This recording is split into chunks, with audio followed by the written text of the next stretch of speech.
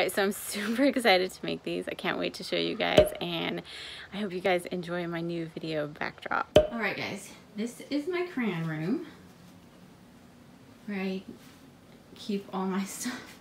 You can see it's a little bit disorganized. We have this corner over here. I don't know when that's gonna get taken care of, honestly. then this closet, let's turn the light on in here. This is where I have a whole bunch of crayons. I have some upstairs too. I just keep them in these Sterilite containers. Our crayon train, some boards. Anyway, I'm really excited to show that you guys the process of putting this all together. What I'll end up doing is putting shelves so they won't be stacked on top of one another. Crayons will be kept in the dark. So I'm gonna put a, a double wide bookcase here and another bookcase over here to replace that one because this one is really falling apart. It's pretty old. We got it for free back in the day and it barely made it here. So I'm gonna do one here and one here. This will be like when I do my videos, I'll be behind there. So here are all the boxes from Ikea that I got for these bookshelves. They brought the boxes here. They couldn't drop them off inside, so now I didn't get to take them inside. But at least they brought them down here because they could have left them at the front door. So here I go. I'm going to go make this go super fast for you guys. A little bit of background behind this is I was going to pick up all these pieces from Ikea Canada, but the border closed in March it hasn't opened since and it's probably not going to open so I was like I'll just order them online. But it was $250 to do that. So I ordered like a dresser some like mats for shoes and then I ordered three bookcases and two of them are really big and the other one and I priced these out on Wayfair and it would have been so much more expensive than getting them from Ikea. And I had seen them at Ikea in Canada and I liked them there so I decided just to go with the ones from there and just kind of pretend like I added $50 to the price and it was still a lot cheaper. So that's why I got them from Ikea and I didn't get them from Canada which I was going to I ended up making five of these bookcases. The first one was probably the trickiest to put together, and what I'm doing right now was the trickiest part because they didn't really want to come together very well. There's not a lot of tolerance right there, but I was able. There was a little overlap on the bottom, but the other ones I was able to put together a little bit, better. And then I was able to put the shelves in, and it looks pretty. And then here I am getting out the next box ready to go on this one. It was definitely a lot easier. It was the same as putting the small one together, but it was just the bigger one. Uh, it just had longer pieces in some areas. It was still pretty easy to put together. I put together an IKEA dresser, and that took like five times as long as this one took. Um, they're pretty sturdy when you um, get them anchored to the wall, which we ended up doing. It was super helpful, and that way I know things won't fall over if kids try to um, come over there and get some of the supplies off the shelves and such like that. So here I am, just finishing up the top of this dresser here and putting in the sideboards. Like I said, these ones in, in a lot easier. You can see I wasn't um, having a hard as a time with that one. By this time, it had gotten pretty late, and I was super grateful to finish that. Um, my back was hurting and everything, but I was super grateful to have finished it, um, to be that much closer to getting all these supplies put up on the wall. So excited! All right, I just got up. It's day two of putting these things together. Oh, hopefully I'll be able to get this one together today. So tired. My back hurts, but I'm so excited to get these done. All right, here's, this is the last one. It definitely was super a lot easier. I think the hardest thing, as you can see from there, is opening the box. Honestly, those boxes were a little bit hard to open, and I didn't want to use a knife because I didn't want to damage any of the pieces. But by this point, I'd kind of memorized where pieces went where. Um, some of the things that were the trickiest were just the little holes and such of where to put things, making sure like if a part had a hole in it that it had the right hole on on one of the bookcases I put together recently. I didn't put the hole in the right place, and I basically had to take the bookcase apart again to just put it back together. But these are the Hemis Hemnes bookcase from Ikea. I was going to do the Billy, but they were all out of that one. And these ones are a little bit nicer anyway. They're made of pine and they have some like uh, some borders on them as opposed to other ones. So they're just a little bit sturdier and they worked out really nice. I was super excited with how they turned out and I I was glad that I had these ones. And here we go. I have finished all of them. All right, they're done. now I just need to make sure I can, um, I'm gonna secure them into the wall so they won't fall down. All right, today's the day. I finally get to put these bookshelves together back here. I'm super, super excited. I'm gonna put all my crayons on there and I'm gonna get to it.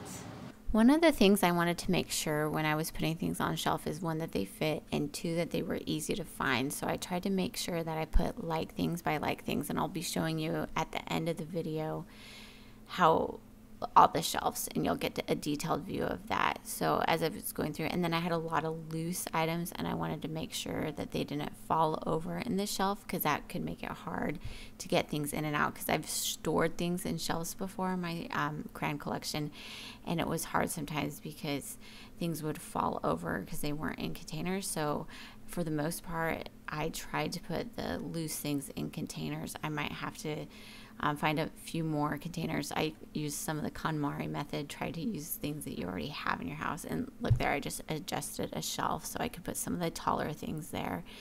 And it's going together. So here's all the stuff I have left. It's a lot of loose stuff. And I have this random stuff. And then this is another box of random stuff. All my crayons I'm keeping not on the shelf, this is mostly, the shelf is mostly for stuff that is too big. So the crayons will still go in here. Putting the loose stuff together and the stuff at the very end was the hardest because I felt like I just had so many things and I was like, okay, where do I put all these things? And some of them I ended up putting in bins like you see here and I put them back in the closet. I was like, well, those will go here. And then um, some of the prettier things I'll keep on the shelves. And I just really had to decide what went on the shelf and what went back in the bins. Here is the completed shelf. Look at how pretty that is. I'm just gonna go and show you some of the shelves, do a quick play-by-play -play of some of the shelves. Let me show you over here. Still have the bike in here, that'll be in here, but I got the other shelf done too, so can't wait to put books in there. Need to do something with that, but we'll get that figured out eventually. Right, so I organize these by type. This is all my Kid Made Modern. There's some scribble stuff here. I actually think, yeah, more scribble stuff in there. I have some more scribble stuff that I have in some tubs that I'll get out. This is Crayon Library from Kid Made Modern. Spirograph up here. Got the Solar Robots, and I have my 240, 268. This is my Kansas City bag. There's a Crayola store there. We have some bathtub finger soaps, something my daughter made. Our little silly scents over here. In the back I have some Blockaroos. What I'll do is I'll pull these boxes out. I can switch out what's in front, which is really cool. Kind of like a store. This is a Tony, my Copic. This is my melted crayon art, my Prismacolor pencils, and then in the back I have some specialty Crayola stuff. I'm gonna have some plates back there. We're gonna have lunch. Uh, an early Crayola box of crayons, another crayon collection, some crayons that are just in there, and some chalk. Down here, I'm starting to get in some of the toys. And then what I did with the bags is I thought it'd be fun to show them, like the bag up here. So this bag, they have stuff in it. So this is all the lip smacker. Then in back of here, I have all my uh, project and take note back there. So really tried to organize it by type. I'll show you what it looks like in back right there. So then I'll have all, like I said, all the Crayola and take note right there. I have Smart Pixelator and Botley. I have this really, really cool, I have one that's not open and one that's open. It's a Star Wars Millennium Falcon See, my kids ripped that, but I have another one, so that's fine. Like, I have a couple kid-made, more kid-made modern things that were too big for the other shelf. So I have some more toys here, washable paint kit, all my coloring books. So my Crayola escapes, signature and escapes right there. Then I have some of the loose coloring books. Some of these are themed with crayon boxes, some construction paper, um, the Pantone. Over here I have a bunch of stuff from Toy Fair, Pokemon down here. And then uh, uh, that, that actually has a matching crayon box to it. This is the 2020 product catalog, which I love. And here we have our Insta Studio, some wee cool toys right here. Some really cool stuff. This is where I keep my bigger boxes of uh, colored pencils. So I have four boxes of 100 colored pencils. Uh, this is a 64 it's Pip-Squeaks Skinnies, which are fun to color with. Uh, this is Color Escapes, which I love also. I think I have another box, actually, of those that I use. And here's some oil pastels. Adult coloring here. Um, these ones are really cool and back. Some of these are dual. Oh, yeah, dual-ended colored pencils. And I have some try, but think they're in a uh, tub right now, probably in the closet. I'll probably pull some of those out. We'll see as we go along. Here's my 120. I have some of these I have to get up on the website. I haven't yet.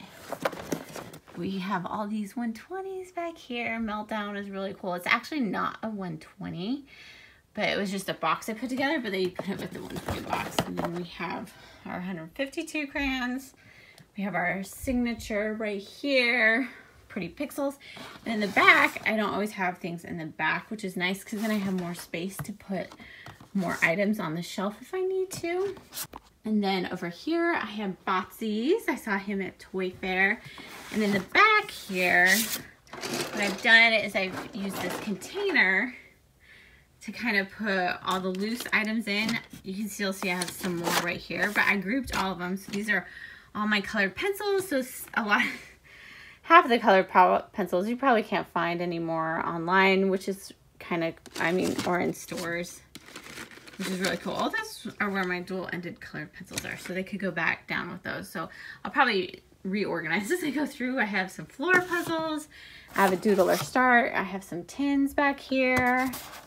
More tins up here. A Mr. Potato Head I made. In the back, I have a telescoping crayon tower. I made this in high school. Do you guys like him?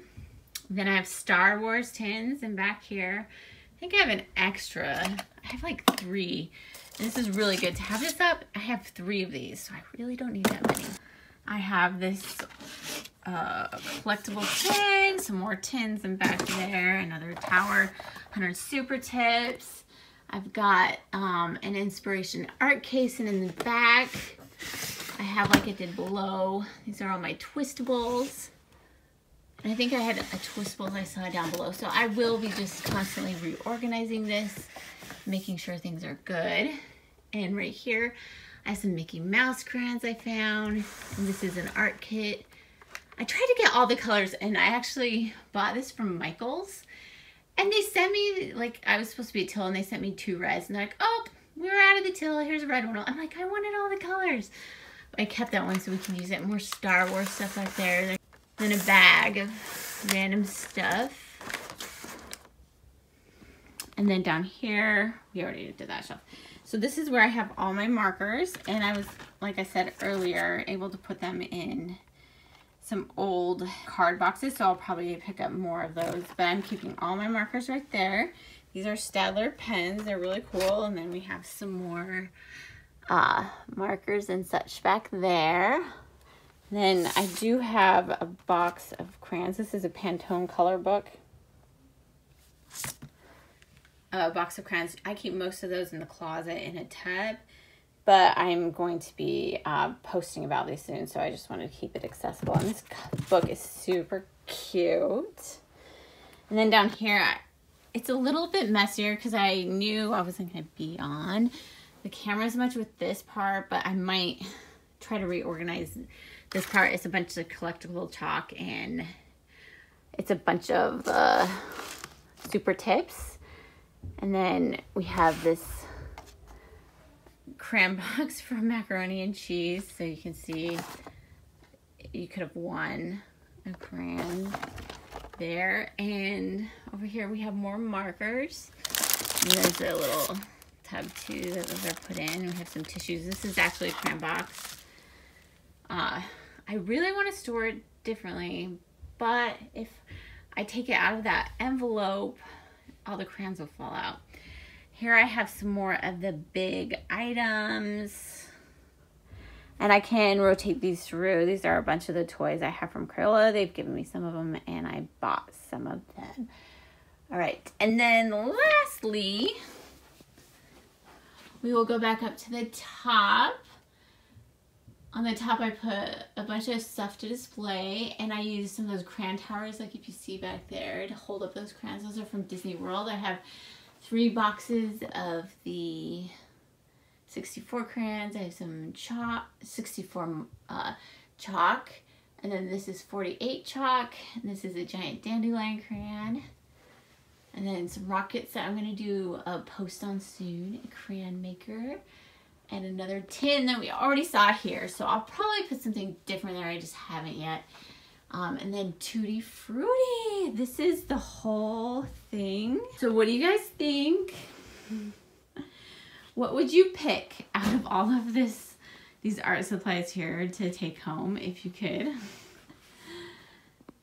This is so fun. Um, I enjoy doing this so much. It's so fun to come in here and have this happiness instead of all those boxes that were in here before.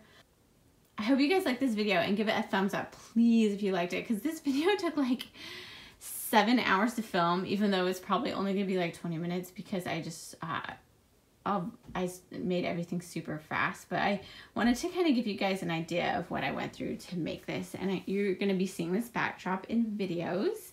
Hit that subscribe button because I help you guys find the coolest art supplies, really, for whatever project, whether you're doing spirographics, art, you're doing STEM, you know, you're trying to do all this stuff. I help you guys find the coolest art supplies for whatever project you guys are doing.